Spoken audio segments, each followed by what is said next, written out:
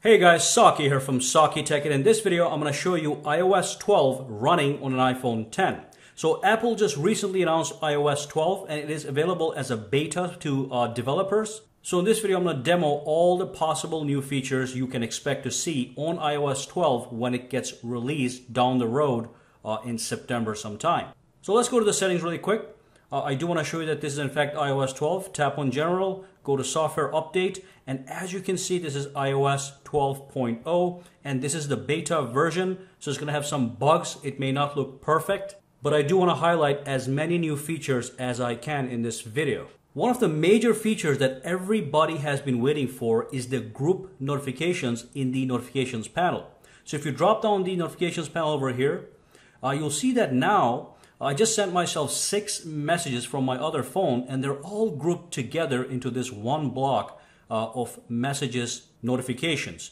And the same is applicable to the to the YouTube Studio app over here. Uh, it's they're all grouped together. The same is happening over here with the YouTube app and the News app, as you can see. So what you can do with these guys is you can tap on them and that expands all the messages. You can see them individually one by one. You can scroll down uh, you can individually deal with them one by one if you so desire, or uh, you can tap show less again, and then you can actually uh, deal with them as a group. If you swipe to this side, you have all the regular options, manage, view, clear.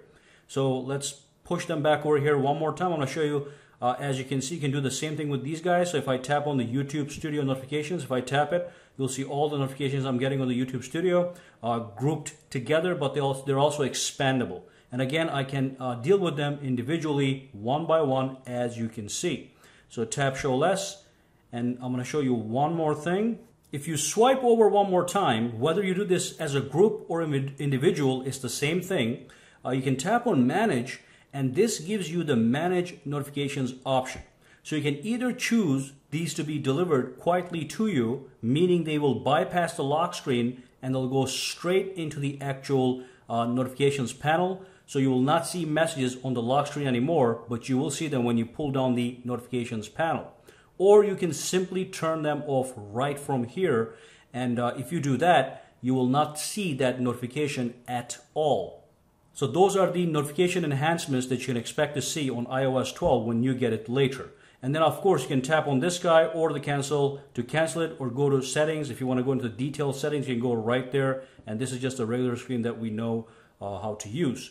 Now the next thing I want to talk about is the performance. Now I cannot show you that right now, but Apple is saying they're going to make some tweaks to their operating system. So when you launch an application, it's going to launch faster. And I can tell you right now, uh, I was running iOS 11 right before this and I just did the upgrade. So when I do tap the weather application, it, it does launch much quicker than the iOS 11 version, except that this is a beta, so there are a lot of bugs happening right now. One more thing they did was they added some new tab into the news application. So if you use the news application a lot, and if you look at the bottom, uh, if you have iOS 12 right now, you'll see that uh, you're not going to see this uh, tab over here. This is the browse tab, which makes it easier for you to browse through the news. So if I tap on browse, it gives me the full categories. Uh, and I, of course, as usual, I can go and I can edit these categories by tapping that edit button. So I can curate the browse feature to my own needs. So let's click done over here and let's go back out. So that's the only update they have in the news application. Now, before I move into the actual Animoji enhancements, I'm going to show you one more thing. The stocks application has been updated as well. So if I go to stocks now, uh, you'll see a new setup. On the top, you have the stocks. At the bottom, you have stories relating to the stock. So this is fed from the news application, but it is in fact stories relating to actual stocks. I can pull this up if I wanted to to read the actual news or just pull it down. Now, if I do pull this up, the stocks go up here and they actually uh, move from side to side, which is a nice little uh, animation. And if I pull it down, I can see the stocks. And if I tap on individual stocks, I can get much more detail now than I used to be able to get with the old useless stock application. So I can tap things, I can see the uh, performance of this stock in a month, in three months, six months, all the way up to a year. All right. Now let's move on to the enhancements that we can expect on the Animoji and also something called Memoji that allows you to create your own Animoji.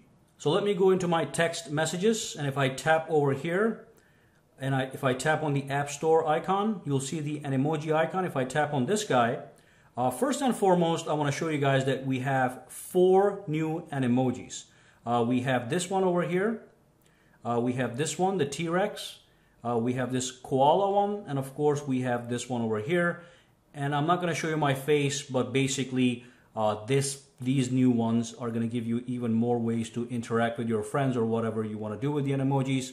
Uh, but it does now also recognize the actual tongue movement. Now let me show you what that looks like really quickly.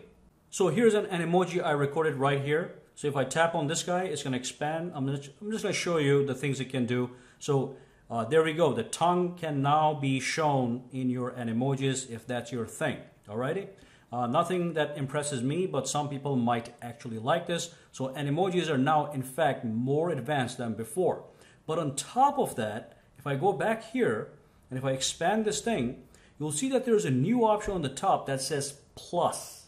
This actually allows you to add a new Animoji that you create. It is called Me Memoji. So if I click plus, you get this entire playground.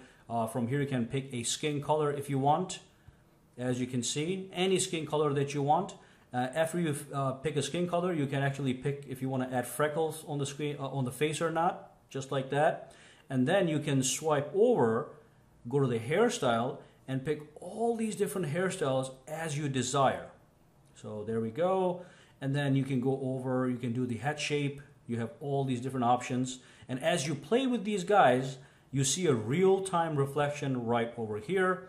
And let's go for the eyes. So you can pick what kind of eyes you want. You can pick what kind of brows you want. Anything that you want. Nose and lips uh, ears small ones big ones humongous ones whatever you need. Uh, facial hair if you want any as you can see. Uh, you can add sunglasses too or regular glasses. So let's uh, add anything over here and then you have the headwear I can add a hat and then uh, the color for the hat and all this good stuff then you click done and you have your own Animoji created right on the spot that you can use. Uh, it'll, it'll show up right here. So you don't have to just make one.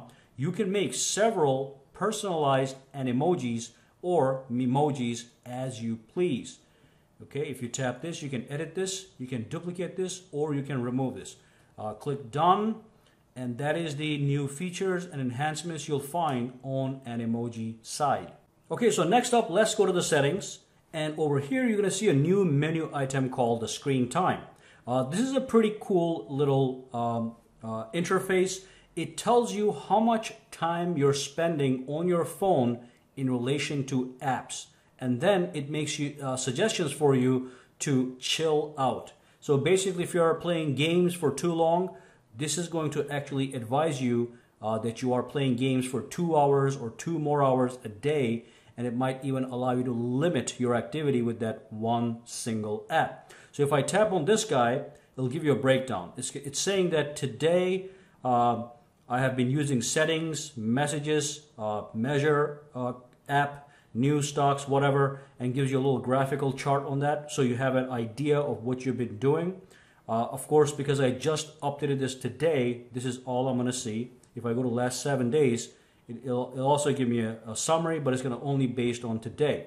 Now, if I go back to screen time, I can do several things over here. I can do downtime. So this allows you to set a schedule so I can spend time away from the actual screen. So if you're overusing your iPhone and the phone gives you an alert, you can go and you can schedule a downtime so you don't spend as much time with the iPhone and you can do other things in life that might be more important. So Apple is now giving you these options. They also allow you to set the app limit. So if I tap on the app limits, as you can see, I can tap on add limit. Uh, I can pick games. I can click add and I can say that I only want to be able to play games on my phone 20 minutes a day. So if I um, uh, go back here, the games, it says 20 minutes. So if I play games more than 20 minutes, it's going to disable the game. It's to send me a notification or something along that line. And of course, you can add uh, apps into always allowed, which is pretty great. So if there's an app that you just have to use at all times, such as the phone, messages, or FaceTime, because communication is important, you can put them into allowed apps.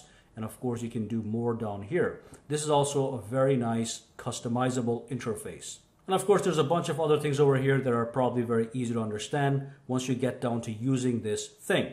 Now, the next thing that is really, really cool, something that I'm not going to be able to show you guys here, has to do with CarPlay. Now, this is a feature that I'm really been waiting for. Uh, now, what's going to happen is you are able to uh, go and use CarPlay uh, with apps like Google Maps, which is fantastic. So if I attach this iPhone to my car with iOS 12, uh, normally I can only use uh, the uh, Apple Maps, which are not as accurate as Google Maps. But now with this update, Google Maps is in fact supported.